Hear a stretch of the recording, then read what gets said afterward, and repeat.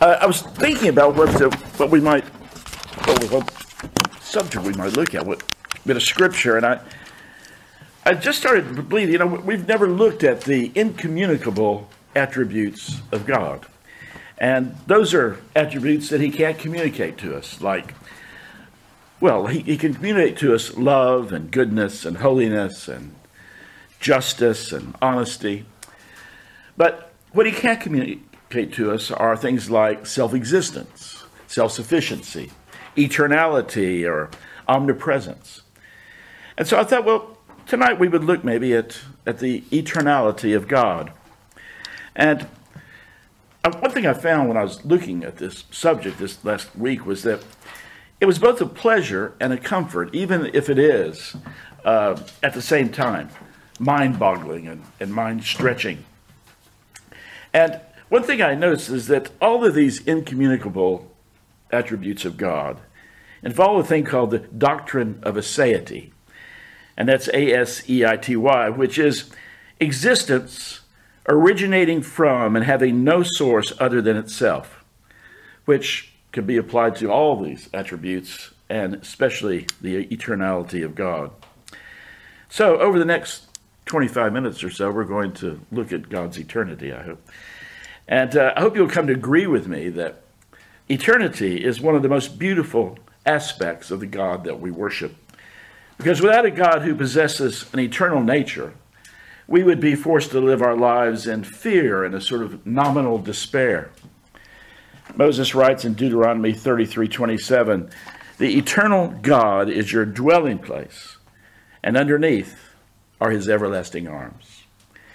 So let me read Psalm 90. I'm going to base my talk this evening loosely on Psalm 90. I think you have it there in your in your uh, program. Psalm 90. Lord, you have been our dwelling place in all generations. Before the mountains were brought forth, or ever you had formed the earth and the world, from everlasting to everlasting, you are God. You return man to dust and say, Return, O children of man, for a thousand years in your sight are but as yesterday when it is past, or as a watch in the night. You sweep them away as with a flood. They are like a dream, like grass that is renewed in the morning. In the morning it flourishes and is renewed. In the evening it fades and it withers. For we are brought to an end by your anger. By your wrath we are dismayed. You have set our iniquities before you, our secret sins in the light of your presence. For all our days pass away under your wrath. We bring our years to an end like a sigh. The years of our life are 70, or even by reason of strength, 80. Yet the span is but toil and trouble. They are soon gone, and we fly away. Who considers the power of your anger and your wrath according to the fear of you? So teach us to number our days, that we may get a heart of wisdom. Return, O Lord. How long? Have pity on your servants. Satisfy us in the morning with your steadfast love, that we may rejoice and be glad all our days. Make us glad for as many days as you have afflicted us, and for as many years as we have seen evil. Let your work be shown to your servants, and your glorious power to their children. Let the favor of the Lord our God be upon us and establish the work of our hands upon us. Yes, establish the work of our hands. Well, may the Lord bless the reading of his word. Well, the eternity of God is a theme that runs really through the entire Bible. In fact, all our biblical doctrines and truths would collapse without the reality of an everlasting God. Paul speaks in Romans 1:20 of the, his eternal power and divine nature. Ephesians 3:11 speaks of his eternal purposes. 1 Timothy 1:17 Paul calls him the immortal king of the ages. Genesis 21:33 Moses says he is the everlasting God. Psalm 100 says his mercy is everlasting and his truth endures to all generations. And as we just read in Psalm 90, from everlasting to everlasting, you are God. And you know, if you were to write down all the doctrines that you embrace or all the themes that you love from the Bible, and then say to yourself, you know, I don't think I really believe in an eternal God, then you would end up with really absolutely nothing. Because eternity is like the adhesive that holds together every truth in Scripture. And although the concept of eternity is, well, beyond our imagination, it is still a truth that should give us comfort in every generation because it is a source of awe and worship. It's even a source of stability. And there are three things that I want to look at this evening with regard to the eternal God, and that is firstly, God is the God without beginning. And secondly, he is the God without end. And thirdly, he is the God who does not experience succession of events. So, as we think about the fact that God has no beginning, think about the first verse in the Bible, Genesis 1 1. This we have God telling us about the beginning of the universe and its history. And if we want to understand our world, the meaning of life, our origins, our destiny, and so on, well, we can find them in Genesis. But those opening words offer up an immediate question. And thankfully, they also provide an immediate answer. Because the big idea is there in the beginning. So, what's the question? In the beginning, what was before? What was there in the beginning? What was before the beginning? And the answer is in the beginning, God. So, in the very first verse of the Bible, it claims that there is a single being, God, who was there before the beginning and who is the force in creation and the source of all things. And the sentence also implies that if there's a beginning, then there must be something that follows on, something afterwards, something that we might call the future. But then again, there's all that time between the beginning and wherever the future is now that is just ongoing activity. And the Bible goes on to say that since God was there at the beginning, then it was He who designed and created the beginning. He gave it its life, its purpose, its direction, and He even ordained its end. Psalm 90, verse 2, Paul, Moses confirms this. Before the mountains were brought forth, or ever you had formed the earth and the world. From everlasting to everlasting, you are God. And we also see in those opening verses of Genesis that God is not a part of his creation. He is separate from creation. There is the creator, and then there is his creation. And the point is, everything in creation is finite. It is not everlasting or eternal, but God is. And what I mean by that is that God is not bound in any sense by limitations of space and time. Space and time are part of the created universe. So, in respect of time, we speak of God being everlasting or eternal. And with respect to space, we speak of God as being omnipresent or everywhere at once. Now, at some point, we may look at the omnipresent God at a later date. So I just thought tonight I want to relate a short thought about eternity or eternality in relation to time and what that actually means. It's something that Isaiah speaks a lot about. He writes in chapter 40 Have you not known? Have you not heard the Lord is the everlasting God, the creator of the ends of the earth? He doesn't faint, he does not grow weary. In other words, he never changes. He is the eternal, everlasting God. Have you ever noticed in the doxology from Jude, verse 25, you may recognize it, I've used it here to end First Wednesday on many occasions.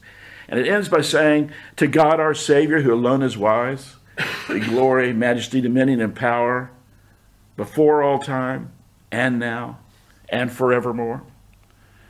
See, that phrase, before all time, and now, and forever, underlines the assertion that God is everlasting, although his creation is not. So, what does that really mean for us in practice? Well, in the first place, I think it's important to say that God accommodates us, his creatures, as he talks to us. He uses tools like language and the Bible because there's no way that we can understand God as he is in himself. I mean, no one understands, for instance, the concept of infinity or eternity. And Well, if you think you do, think about it like this an average galaxy contains between 100 billion and 100, and 100 trillion stars, which for you mathematically minded people is between 10 to the 11th power and 10 to the 12th power. And astronomers estimate that there are approximately somewhere between 100 billion and 100 trillion galaxies in the universe. So, how many stars are there in the universe? Well, somewhere between one sextillion and 10 sextillion stars in the universe.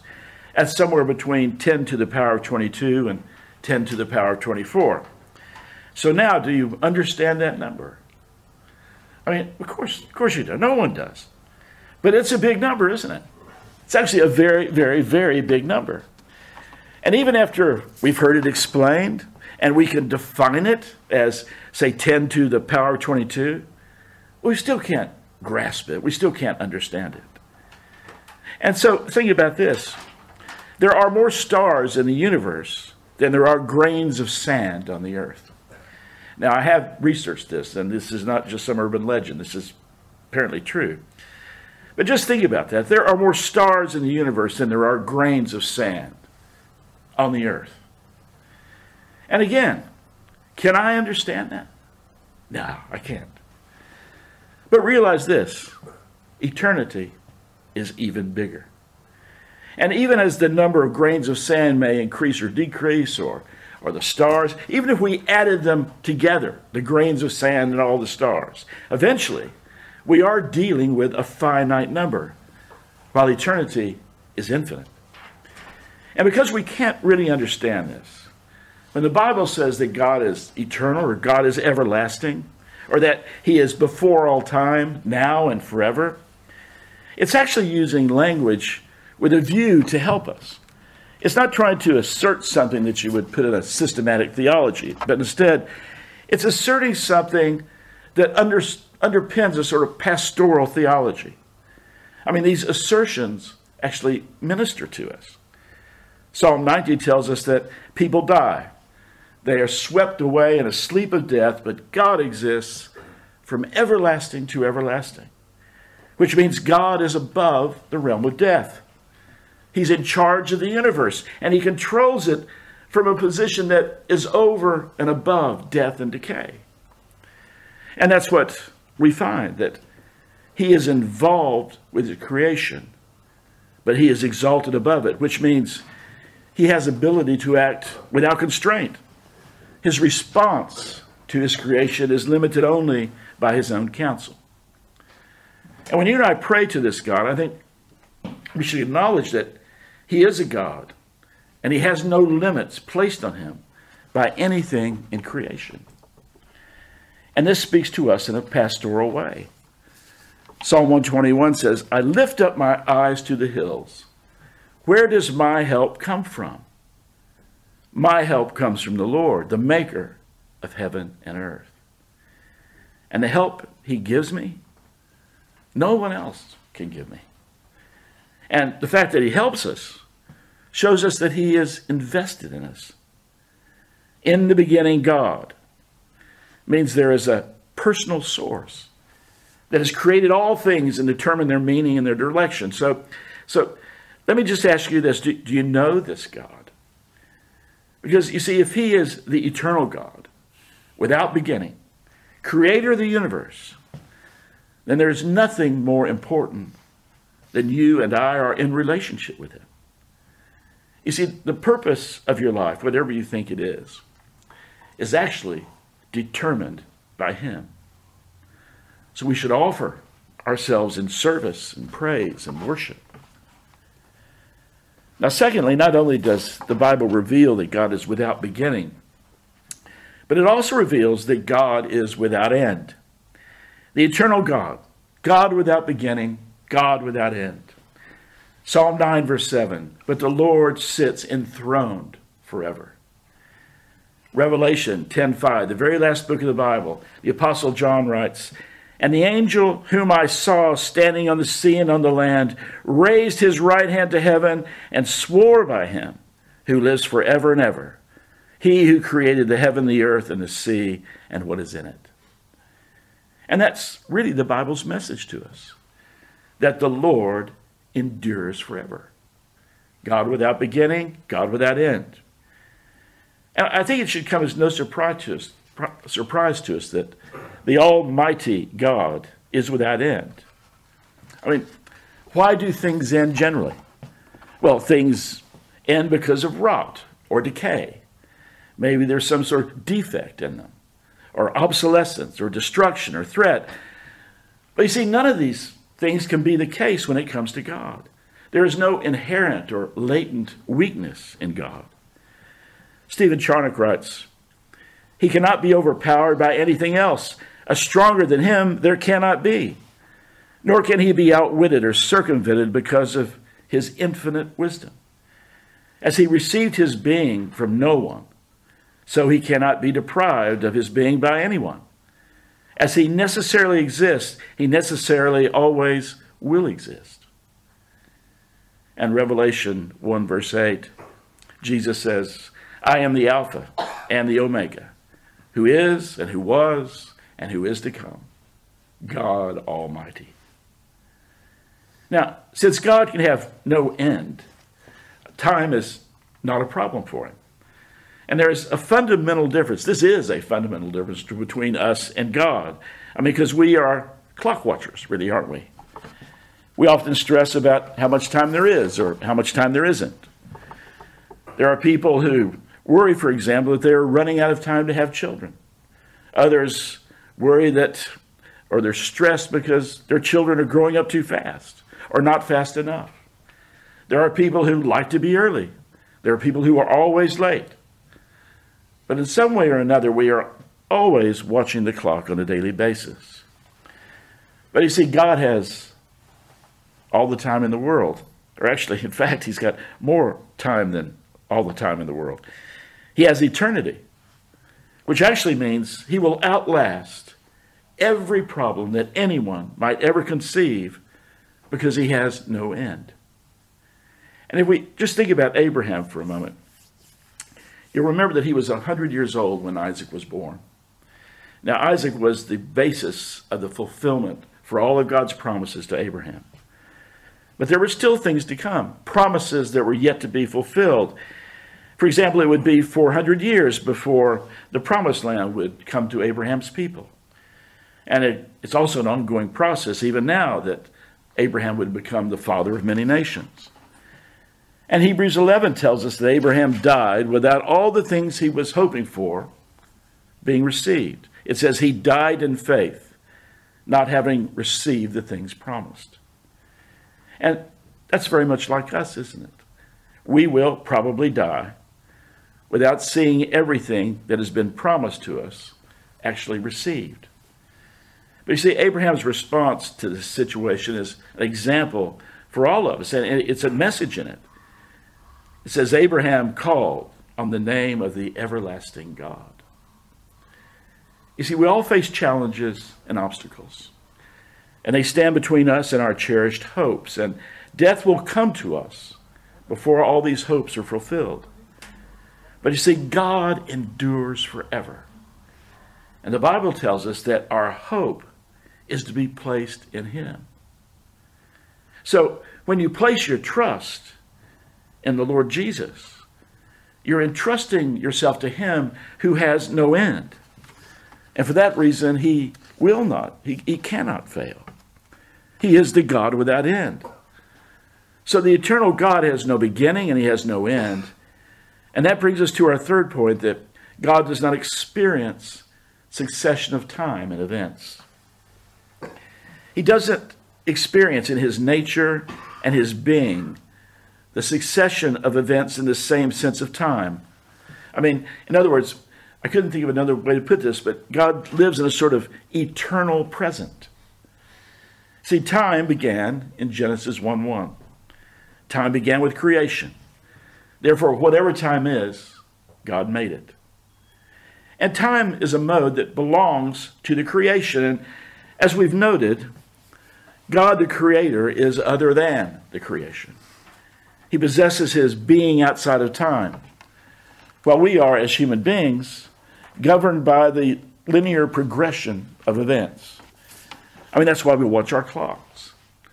And there's so many movies, a lot of movies like uh, Back to the Future, Terminator, X Men.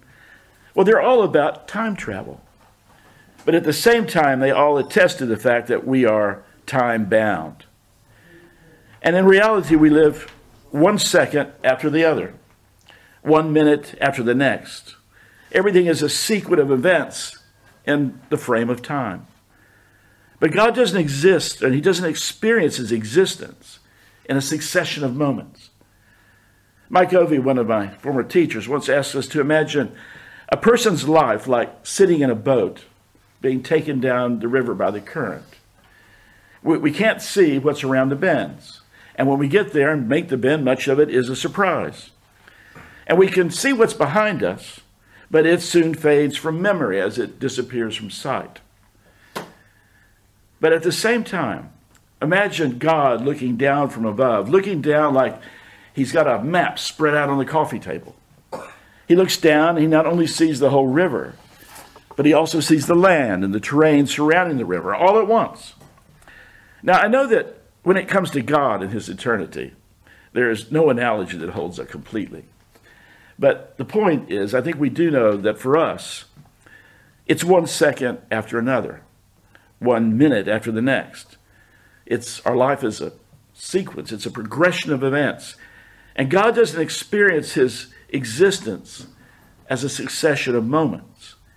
And I think one way we can understand that is that time means constant change. In fact, time is, or change is the hallmark of God's creatures. I mean, I've gotten to the age now when I go to bed at night, I wonder which part of me is going to ache in the morning when I get up. Or try finding a picture of yourself 10 or 20 years ago and put it up on the mirror while you shave or put your makeup on, and then try to convince yourself that you're not changing. You see, time means that constant change is the hallmark of God's creatures. And in the same way, I'm sure that we've all gone to bed some nights praying that we might improve some aspect of our lives the following day or in the following days. I mean, for example, have you ever prayed for a greater faith? Have you ever prayed that you might be a better parent or friend or servant to the church? Well, amen if you have, because those are wonderful, fantastic things to pray for. But at the same time, those are prayers to change. As Stephen Charnock writes, the being of creatures is successive, but the being of God is permanent, and it remains entire with all its perfections the same in an eternal duration. You see, God is the eternal being, and He's not in the process of becoming or developing or improving or decaying. The God who lives above knows the beginning and he knows the end. And it all exists by his eternal decree. He sees it all at once, just as if the whole thing was sitting in the palm of his hand. And if this thought does nothing else for us, I think it should give us some focus about, about how we live our lives. And if we just think about sin for just a few moments, the psalmist in Psalm 103 tells us that God will not remember our sins and that he will separate them from us as far as the east is from the west. And I'm sure this will not surprise any of you, but there are sins in my past that I committed a long time ago that I haven't really thought about for a long, long time. I mean, they were forgiven many, many years ago. But they are and will remain eternally present before the mind of God. Psalm 90, verse 8 tells us that our secret sins are on view in the light of his presence.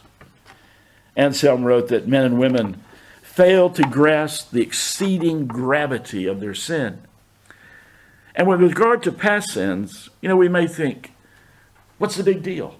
They happened a long time ago. A lot of water's gone under the bridge. Well, the big deal is this my sin is always present in the mind of God. And that should be, I think, a sobering thought. But here's the good news our salvation in Christ is also eternally present in the mind of God. We are converted in time. You are justified through faith in Christ in time, at the moment of believing. And in the mind of God, who knows no succession of time, you are in Christ eternally, outside of time, eternally. You see, our salvation is eternally present to God because it originated in His own will. Our salvation originated in God's own eternal will. Therefore, the sacrifice of His Son, the Lord Jesus, on our behalf, is also eternally present to the knowledge of God. So, as we stand before the one who is eternal, He sees everything. It's all laid bare. My sins are there, fully exposed, fully presented at all times, but so is the blood of the Lord Jesus, which covers them. And how precious it is. His eternity also means that the final judgment of the wicked is also eternally present to God. That's why he can be so patient as he waits for people to repent because he knows the day of judgment and the destruction of the wicked is an eternal certainty. It's, it will come. Moses says in verse 4 of Psalm 90 that in God's sight, a thousand years is like yesterday. And it's Peter who tells us in the New Testament not to mistake the time spent waiting for the Lord's return as God being slow to keep his promises. Because as the eternal God stands outside of time, Peter says a day to him is like a thousand years, and a thousand years is like a day. And that points us to a, a further implication that we've already referred to, which is God remains the same throughout eternity. If God is eternal and perfect and existing outside of time, then it stands to reason. I mean, how could he change? What, what could he change into? Especially if his eternal perfection is already unsurpassable. I mean, we look at all the qualities of God and how wonderful they are, especially the communicable ones His holiness, His godliness, His justice, His truth, His love. And, and they all are eternally so, which means they will never alter or decay or change. Every human source of trust is bound to fail, but God Himself will never fail. He is perfect and He is eternally the same, which is wrapped up in his own self revelation to Moses I am that I am. The eternal God is, by definition, the unchanging God. He is unchanging in his will, he is unchanging in his purpose, and he can never deceive us in the expectations of his promises. He never falls short, but he does often go immeasurably beyond what he has led us to expect. His counsel will stand. He will do all his pleasure because he is the eternal God. But now, at the same time, in the eternality of God, it is the great hope for the believer. But it also holds the greatest terror for those who reject the Creator, for those who would deny Him their worship and obedience and faith. And just think about that for a moment. I mean, what a terror the eternity of God is for the unbeliever and the rebellious. And it doesn't really matter whether it's a blatant rebellion or a passive rejection, but it means the dire threats of God's impending judgment upon them will come to pass. And those punishments will be eternal. A life spent rejecting God and His will, the Bible says, is certain to end in judgment in the lake of fire. So listen, if you are an unbeliever here this evening, let me urge you to cry out to the eternal God for mercy and faith. Faith that you might repent of your unbelief. You see, the etern- eternality of God, in fact, is a, a real strong plea to the gospel of Jesus Christ.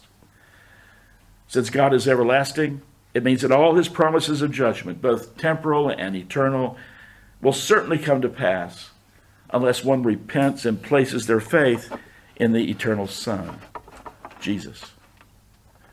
And just think about the three points of God's eternal existence we've talked about God without beginning, God without end, God without succession of events in his experience.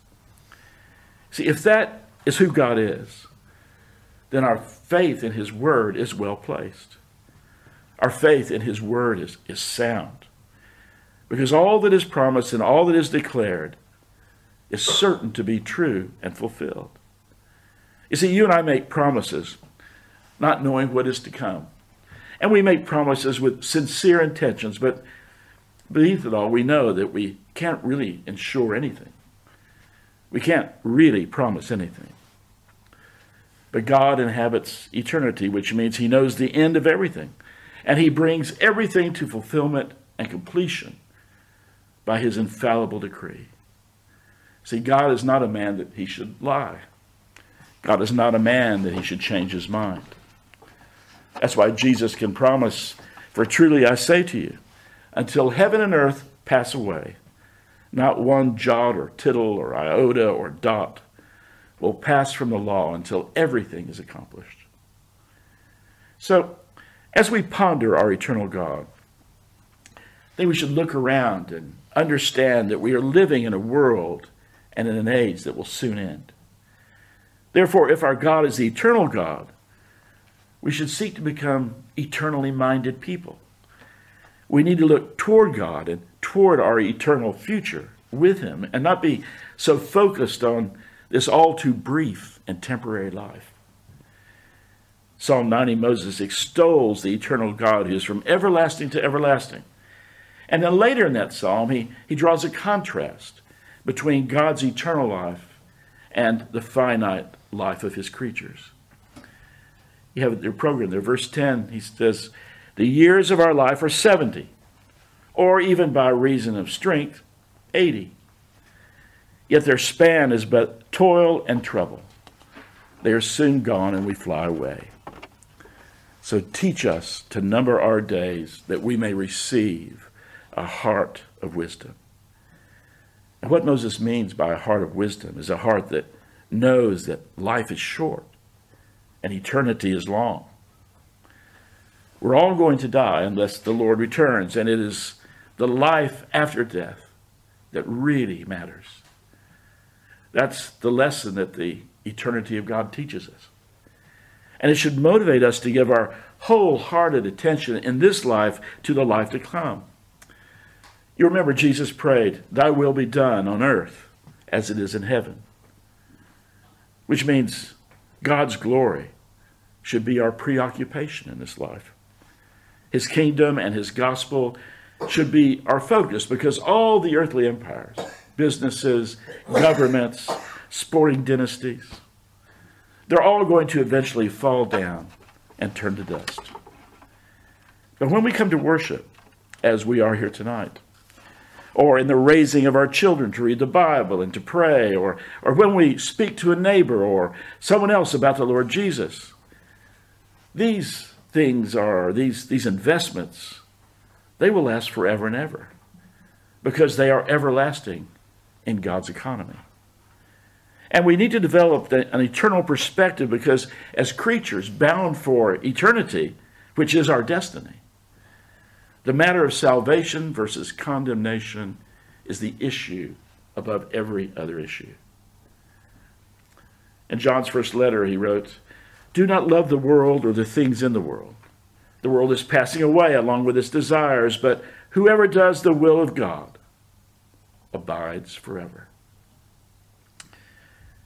You know, when we trust in the Lord Jesus Christ, our sins, which are eternally present in the mind of God, are also eternally covered in the mind of God by the blood of the everlasting Son. And then, in the atonement of our sins, we are forgiven. And as Paul says in Romans 8, we become heirs with the Son, the Christ of the eternal glory. We are heirs with him.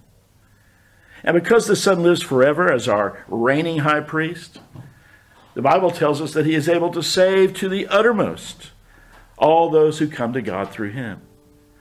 Which means that because our salvation is rooted in eternity past, we are secured in eternity for all the ages to come. And because God is never ending, he will forgive me then as he has forgiven me now through the cross of Christ. Let's pray. Heavenly Father, we, we bless you, we honor you, we exalt you. We ask that in the weakness of our faith, by your grace, that you would pick us up and teach us to number our days so that we might receive hearts of wisdom, hearts that enable us to see you and to trust you, to revel in you and to hope in you. And we ask this in Jesus' name. Amen.